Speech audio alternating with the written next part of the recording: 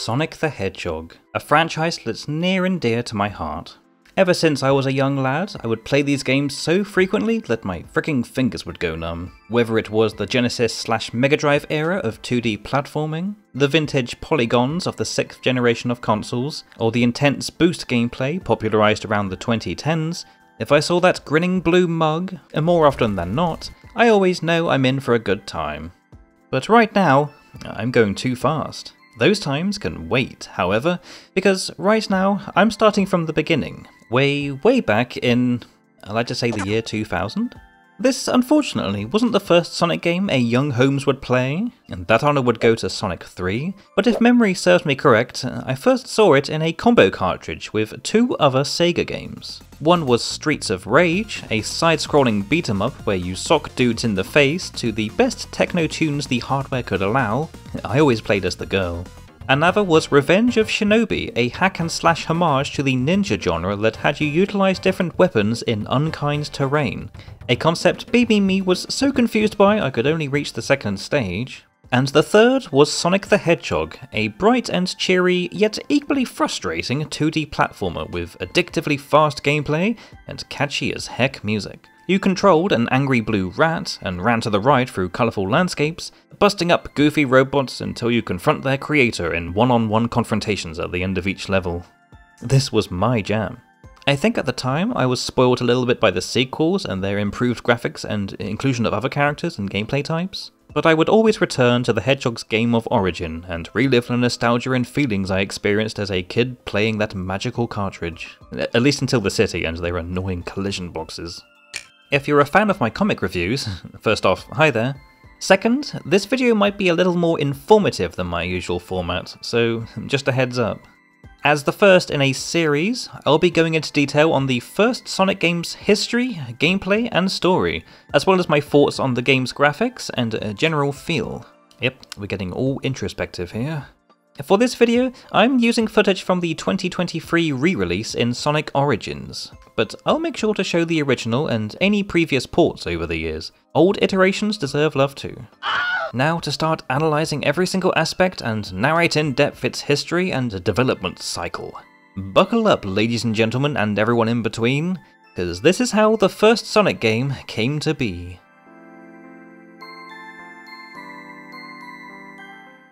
It's important to note that in the late 1980s, Sega wasn't in the most favourable position as a games company. Their biggest competitor, Nintendo, were ranking in the big bucks with flagship video titles such as Super Mario Bros., The Legend of Zelda, Donkey Kong, Metroid, and Kid Icarus. Their games console at the time, the Sega Mega Drive, wasn't the success that they were hoping for, both in Japan and overseas. This was despite it being technically superior to the Nintendo Entertainment System, which had swept most of the gaming landscape, excluding Europe.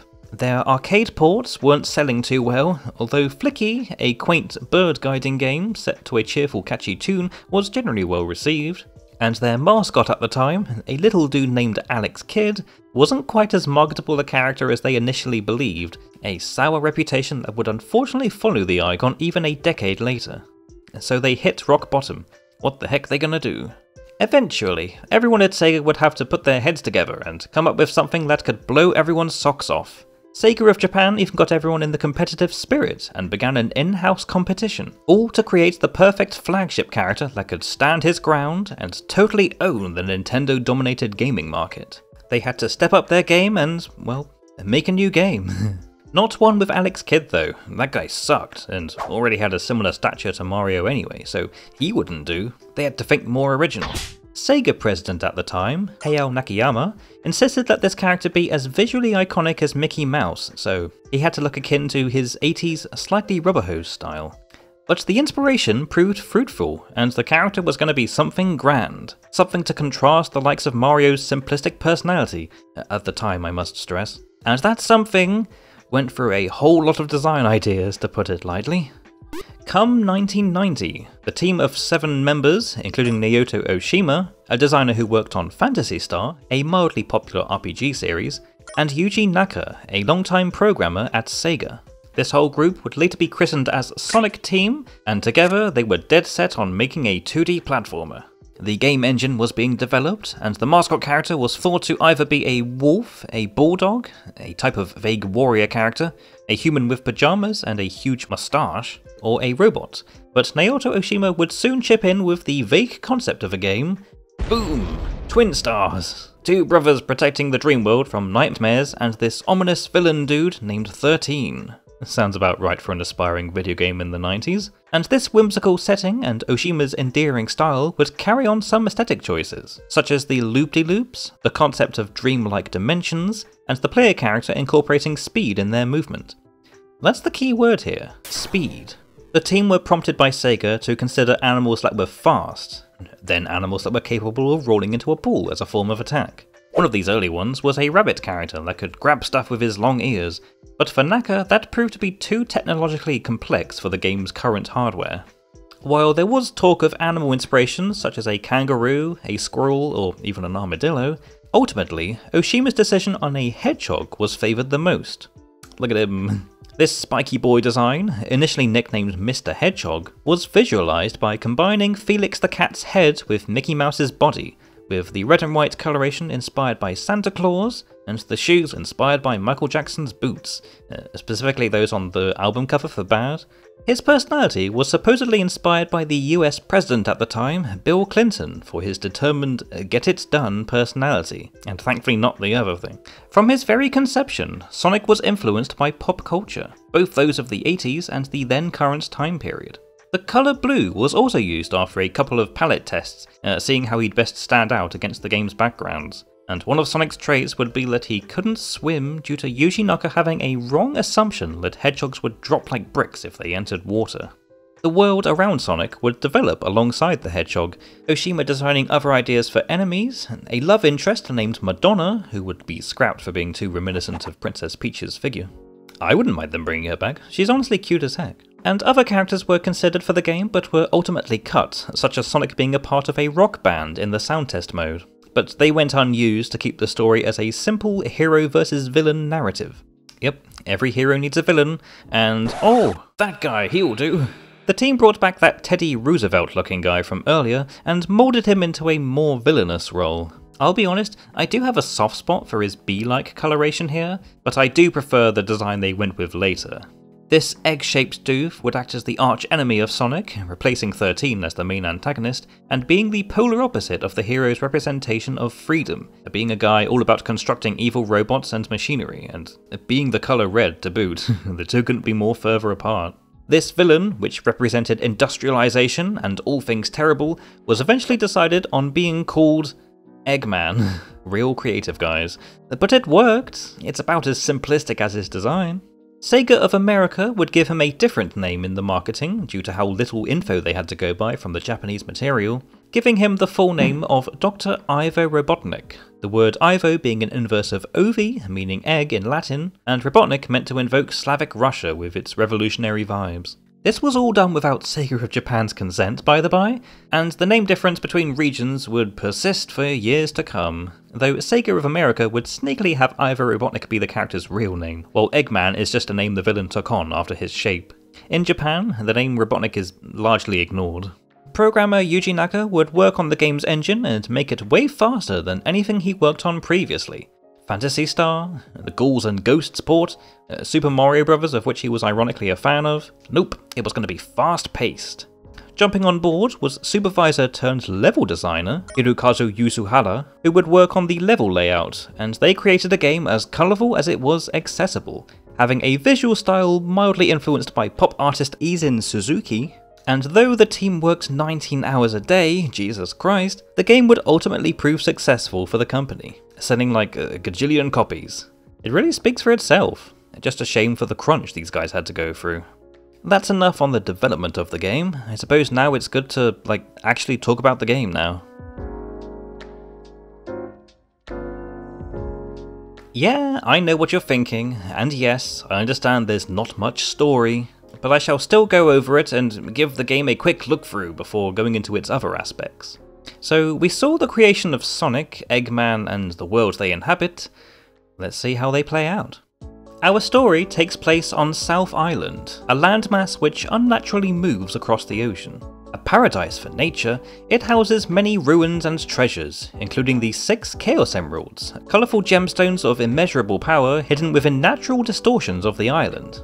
Enter Sonic the Hedgehog, a speedy blue fella who enjoys freedom and running around all carefree, who finds that the place has been visited by a one Dr. Ivo Robotnik, who had trapped the little animal friends within imposing prisons and hostile robot minions, uh, named Badniks, all in his bid to seek out the Chaos Emeralds and use their power for his evil, polluting ambitions.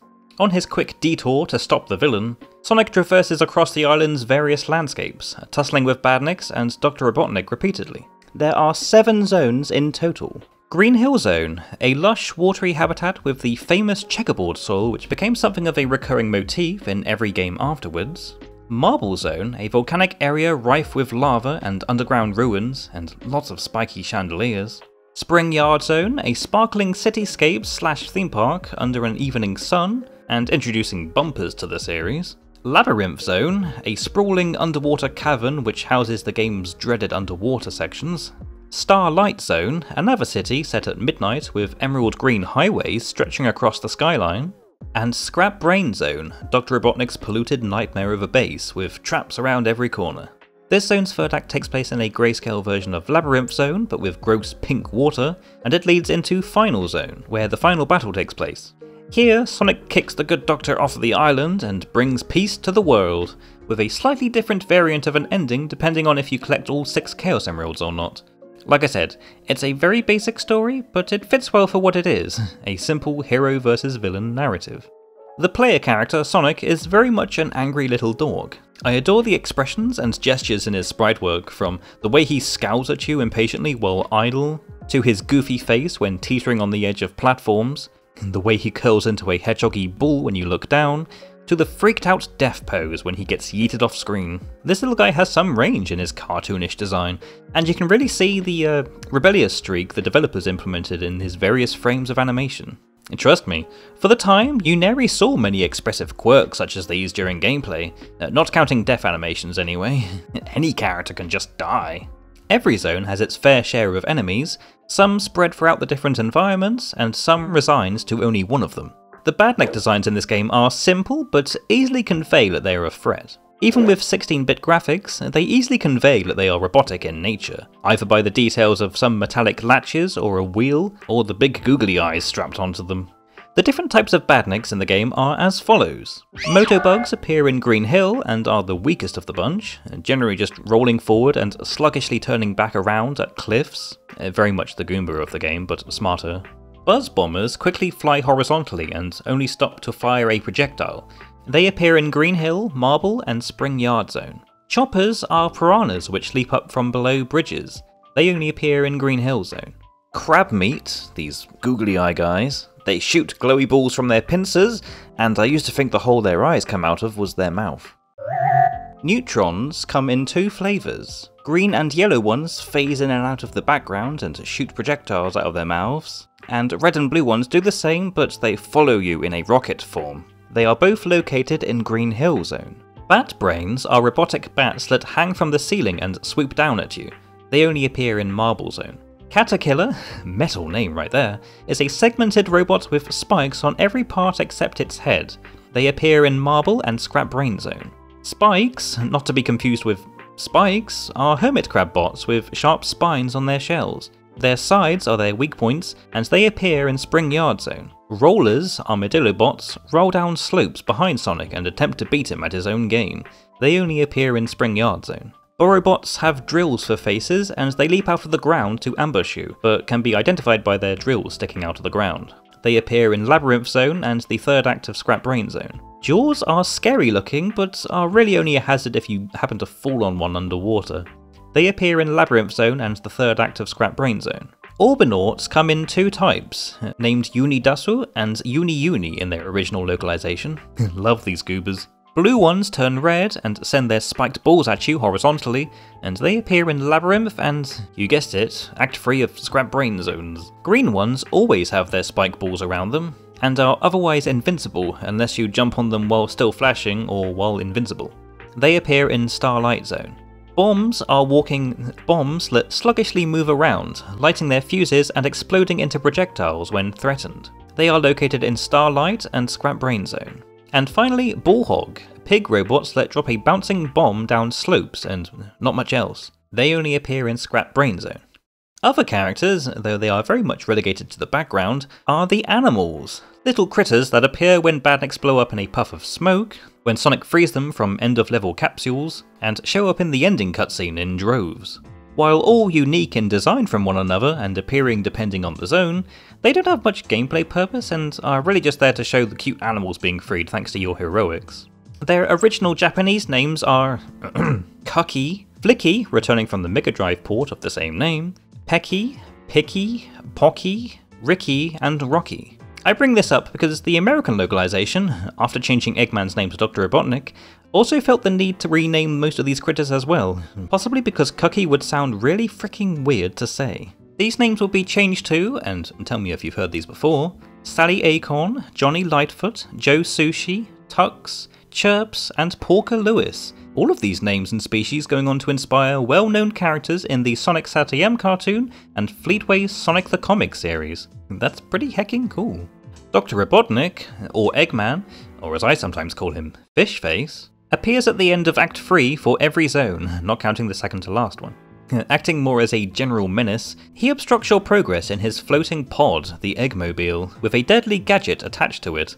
Sometimes it's a checker wrecker ball on a chain, a now iconic boss visual for the series. Sometimes it's a spike, at one time he just lets the surrounding obstacles attack you, and one time in a crusher room, the only one not fought in the pod. While the game has no character dialogue, Robotnik's facial animations can change for a small period of time to reflect his current mood, if you get injured, he giggles at the camera. If you land a hit on him, he grimaces while in a flashing damage effect. And when his mech gets destroyed and falls apart, his skin and moustache, humorously, turn a shade of crimson out of anger. He also appears in person in the last zone and exudes a silly but still threatening personality. He's a very goofy villain amongst a cast that mostly consists of fluffy animals.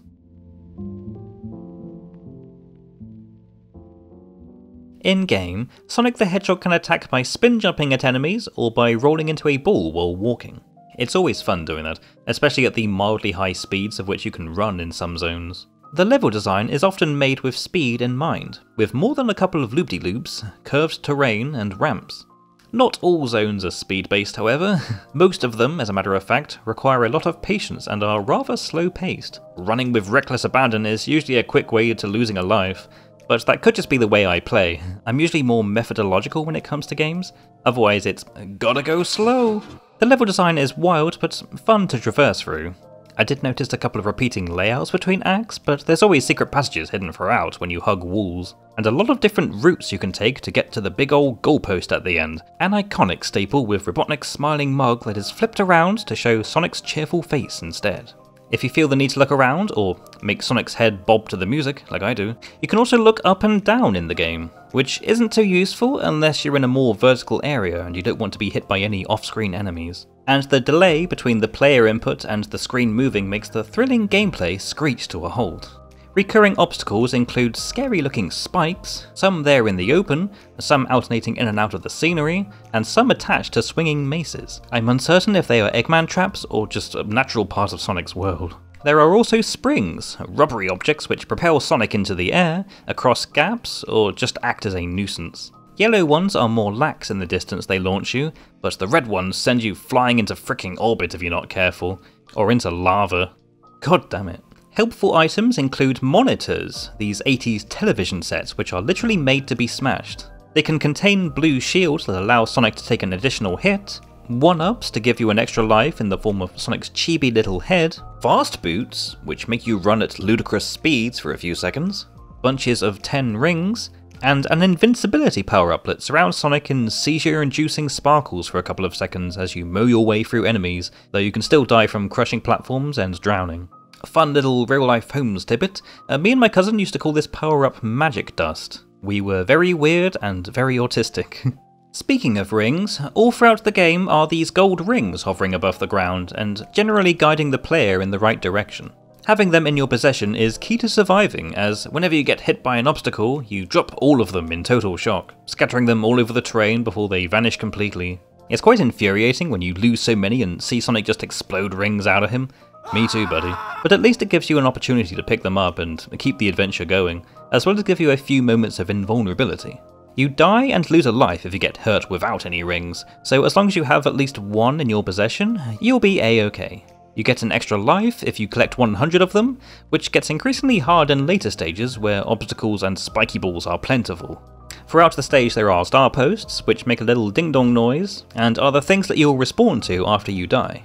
As well as a signpost, at the end of every act there's invisible points that can be collided with to add to your score, although it's totally superfluous. And if you have 50 rings upon reaching it, a giant ring will be there with which Sonic can jump into. Here you enter the Special Zone, a trippy dimension where the Chaos Emeralds are held in crystal barriers.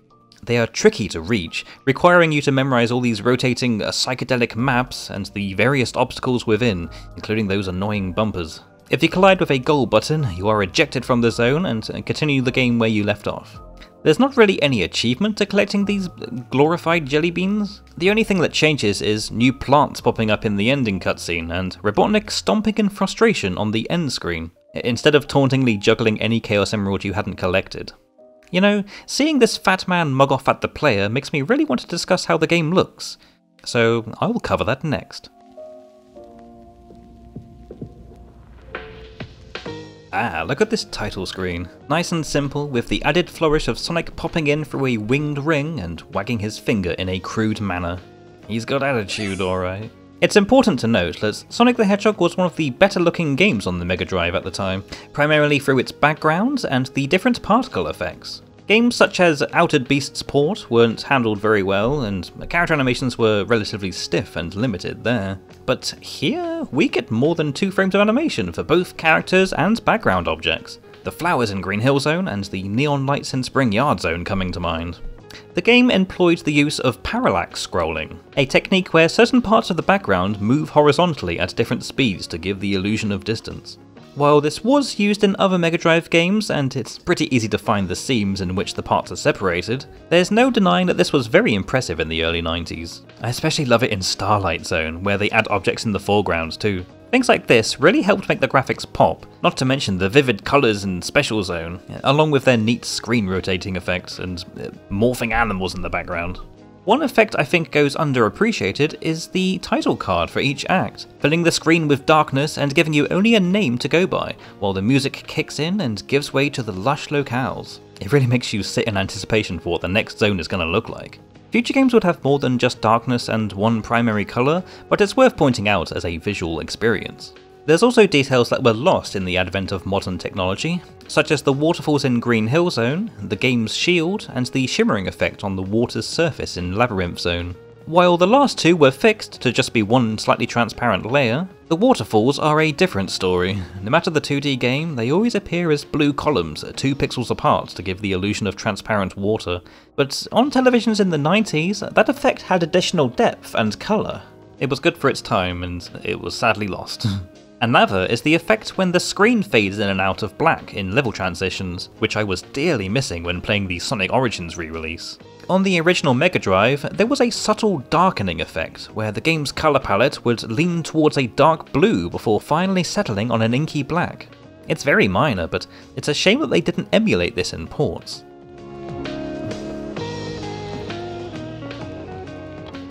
Being a launch title for the Sega Mega Drive, the audio quality isn't that bad, though maybe a little standard compared to future games on the console. The sound bites used throughout are sharp and invigorating, be it from the player or just general sound effects like the satisfying collecting of rings. The way they overlap when you collect them is gratifying. Makes you feel rich just listening to it. Other significant sounds include the ding dong of a star post, the cartoony boing upon breaking open a badnik or monitor, the crunchy crumbling sound when the floor falls apart below your feet, the bizarre wow when you get a shield, the murky sploosh when fireballs appear as obstacles, the ominous timer when your air is silently counting down in Labyrinth Zone, the chaotic ping sound of bumpers in Spring Yard Zone, the dumbfounded fart noise when you lose a life, and the beoink when you enter a giant ring, signifying your entry into the special zone. Notably, this game doesn't have too many audibly grating sound effects like other games did with their particular twang sounding noises that had persisted since the Macintosh era of computer games. It's all the more better for it, really, though the saw blade sound is rightfully shrill. What the crap, that thing just chased me! For the soundtrack, Sonic Team commissioned a one Masato Nakamura, songwriter and bassist of the J-pop band Dreams Come True. I pity the guy. Understandably, it was tricky due to the Mega Drive being limited by the number of sounds that can play at a time, and the instruments themselves are much more rudimentary than real ones. Nonetheless, his music for Sonic stands out and has quite the range, making for a pretty robust soundtrack. And all of it was composed by this guy, from the level themes, to the end of level jingle, to the dreaded drowning music that foreshadows your inevitable underwater demise. That was close. Since I can count the number of music tracks in this game on my freaking fingers, I shall cut the background music, kick up a chair, and talk about every track individually like the freaking Sonic nerd that I am. The game's main theme is pretty iconic, used on the title screen, when you get invincibility, and with a special rendition in the ending cutscene and credits. It's also used in the little game over jingle, but I never heard it that much. I'm a pro gamer. It's so synonymous with the classic era that not only would it be reused for a couple more games in the future, but it even made it in the Adventures of Sonic the Hedgehog cartoon. Food for thought. Green Hill Zone's theme, probably the most iconic and reused theme in anything Sonic related, has a bouncy, cheerful beat, perfect for encouraging you onward as you take in the 16-bit sights. It's good, and rightfully deserves its legacy of being remixed over and over again, though I can't say the same for the zone itself. Marble Zone's track is a much more mellow tune, almost bordering on threatening, but it still sounds adventurous, like you're digging your way out of a cave towards the welcoming light. Hearing this while passing darkened cells underground was a trip for Baby Holmes. Spring Yard Zone is a more bumpy and pop inspired tune, very appropriate for the maze like cityscape you wander through. It's not one of my favourites, and it can be a little annoying, but it's not bad. You really get sick of the game's drumbeat soundbite after a while. Labyrinth Zone. My word, Labyrinth Zone. The level may be a claustrophobic subterranean nightmare, but boy does the music slap. It's got an upbeat melody that's more of an earworm than even Green Hills, as if encouraging you through an otherwise treacherous terrain. It's the one redeeming factor of the zone, except for maybe the cheese blocks. Starlight Zone's tune, by contrast, is a peaceful track with a slow, calm beat. The music complements the Midnight Sky locale very well. The instrumentation isn't exactly to my liking, but I can see why people like it. I enjoy piano remixes of it myself. Scrap Brain Zone has a tune that oozes finality. It's got a good build up and an ominous, almost sci fi sounding backing track, as if it were calculating to be the most efficient fortress music ever. It's more fitting in the mechanical stronghold than it is when Sonic is flushed into the freaking toilet. Special Zone's music is as delightfully whimsical as it is distant and somber, like a sonnet written for all of the Chaos Emeralds that are barely out of your reach. Like with other tracks, the song fits well with the general vibe of the zone, especially when you're pulling your hair out trying to escape those stupid goal orbs. The music when you confront Dr. Robotnik is super menacing. The sudden shift from Green Hills to the boss music is almost like a tonal jump scare. My only problem is that it's pretty short, and loops fairly often. The Final Zone's theme builds off of the boss one by including more ominous instruments, adding a climactic tone to the whole thing. Really makes you think this is the final showdown after all the crap he gave you throughout the game. Did I miss any out? Oh yeah, the credits theme is also nice and uh, good to listen to after beating the whole game, giving you familiar tunes whilst playing demos of the zones you had travelled through. It's like it's showcasing all of Sonic's best moments, even if he does collide with things weirdly. Since Sonic the Hedgehog's release, there has been a heavy ROM hack scene, and there always will be because Sega encourages it, which is honestly refreshing to see in this day and age. Sega really do what Nintendo don't. Sonic the Hedgehog Megamix was probably one of the first ROM hacks, but there's been many others, from full zone conversions, ones incorporating unused elements like rolling checkerballs and the scrapped rabbit enemy, Splats, to including whole new playable characters, even those from other Sonic media. There's been countless ones over the years, far too many to count in this video, so please don't ask but things like this really show just how creative the Sonic fanbase can be, and how obsessed we are over unused content.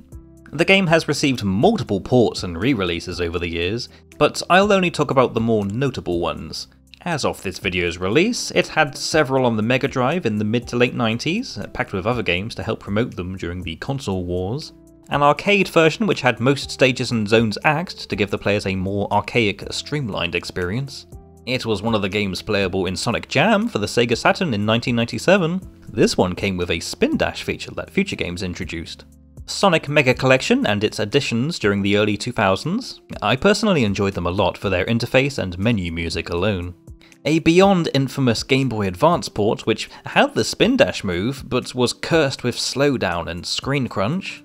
A playable version was included in the Xbox 360 and PlayStation 3 versions of Sonic Generations, emulated from the Sonic Jam version, but it was omitted in the PC version to make the game run better the iOS re-release developed by Christian Whitehead and Headcannon. Now this one is special.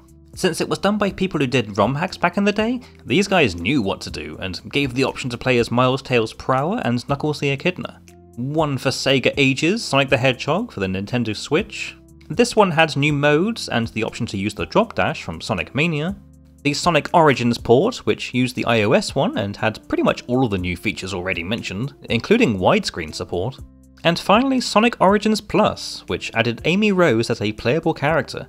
Man, with this many ports, this sure sounds like a well played game. And that's the first Sonic game. It's fair to say that the original holds up well over the years, even if future games improve on nearly all of its elements. It's not super great, and when playing, it can get pretty damn frustrating at parts. But the hallmarks were there, and it led to the Sonic franchise being a thing, which I can't help but be thankful for, even for all the hair loss. Many, if not all, of the problems I had, or things I was unsatisfied with, get fixed the more into the classic series we go. But I'd certainly recommend this game if you ever want to relive the nostalgia like me. It's available on pretty much anything now since Sonic went multi-platform. And thank you for watching this video up to this point. I'm still getting the hang of making Longman content and geeking out for just the right amount of time, but please let me know what you think in the comments. I appreciate any and all criticism thrown my way. Give it to me real hard. I've survived Labyrinth Zone back in the day, I should be fine. When I make another one of these videos, it will probably be a smaller one on the 8-bit um, Sonic the Hedgehog title for the Game Gear, as that came out next. So look out for that, and my Sonic comic review if I actually finish it yet.